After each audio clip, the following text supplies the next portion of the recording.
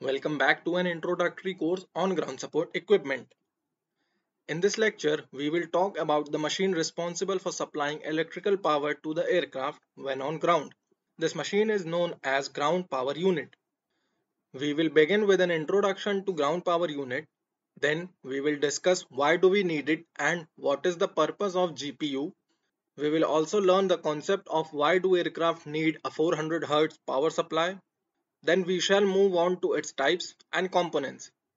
Lastly, we shall conclude this lecture by discussing how it works.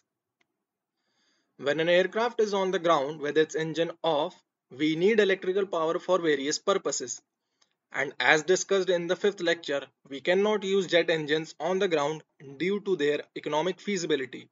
Therefore, a GPU supplies electrical power when the aircraft is on the ground. And for that, it either needs to supply a power of its own, which is similar to an AC generator, or it can take input from the utility power supply and transfer it to the aircraft. The main power supply source of an aircraft are jet engines.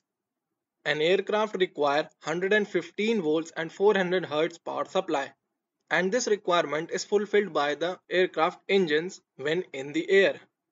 Therefore, Jet engines not only provide thrust for the aircraft to fly but supplies electrical power supply as well.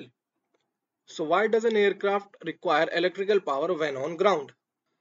As we have discussed already, when an aircraft lands, it uses the taxiway to reach an aircraft bay for parking. After that, a passenger boarding bridge is engaged for disembarkation of the passengers. Later, the aircraft crew starts servicing the aircraft which includes a lot of different activities that require power. Flight technicians need to check the aircraft electronics to make sure everything is working fine.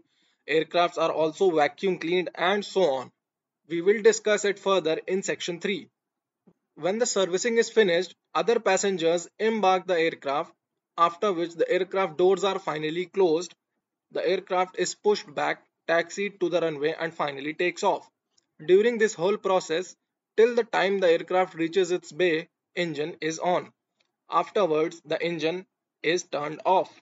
So the aircraft still requires electrical power for passenger disembarkation, servicing and embarkation for the next flight. So this is where GPU comes in. Now an aircraft has two options, either to use auxiliary power unit or ground power unit. An auxiliary power unit is nothing but a mini jet engine acting as a secondary power supply installed in the tail and can power all the equipment without requiring any external aid. But there are limitations to its use. The problem with the jet engine is that they create a lot of noise and also consume a large amount of fuel. Therefore, ground power units are always considered here. So let us move on to another specific question why does an aircraft need a 400 Hz power supply? The answer to the question lies in the relationship between the power transmission and electrical frequency. Domestic electricity uses 50 or 60 Hz power supply. The power plants are built in remote areas from where the power is supplied to homes through transmission cable networks.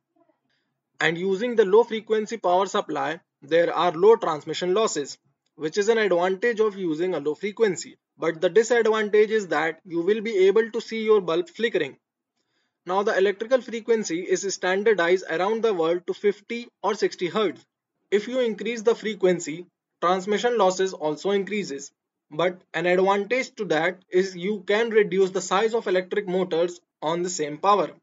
And since weight is of paramount importance in any aircraft, Therefore, aircraft power supply uses 400 Hz that reduces the weight and size of all the equipment.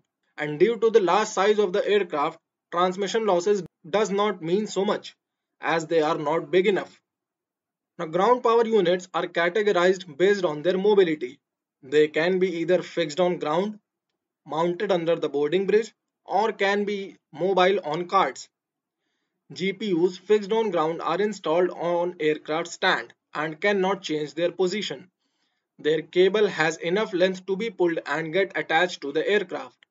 They take the power supply from utility power, that is from the airport building, which we will discuss in the upcoming lectures. Bridge-mounted GPUs are installed under a passenger boarding bridge. They are preferred because they do not occupy space on the ground. Their cable wires don't create any hindrance or safety hazard. They also take input from the utility power supply because an engine causes too much vibration that can harm the passenger boarding bridge. Mobile GPUs are built on cart with wheels. They do not need lengthy cables because they are parked close to an aircraft. They are generally engine powered, but nowadays they are being manufactured that would run on utility power supply due to environmental factors. Some modern mobile GPUs are also battery powered.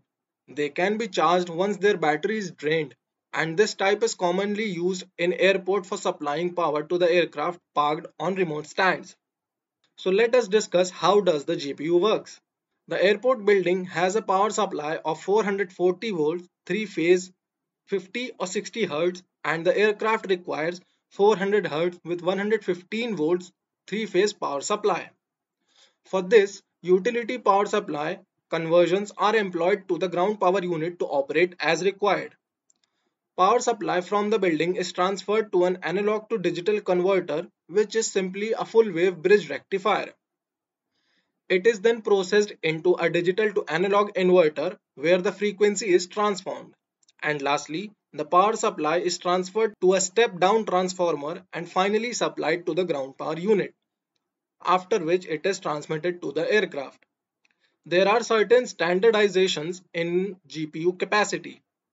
All commercial aircraft require GPUs of at least 90 kVA capacity. Smaller aircraft in this regard have a single receptacle of just one cable, whereas large aircraft have multiple receptacles in which multiple cables of 90 kVA each are plugged in.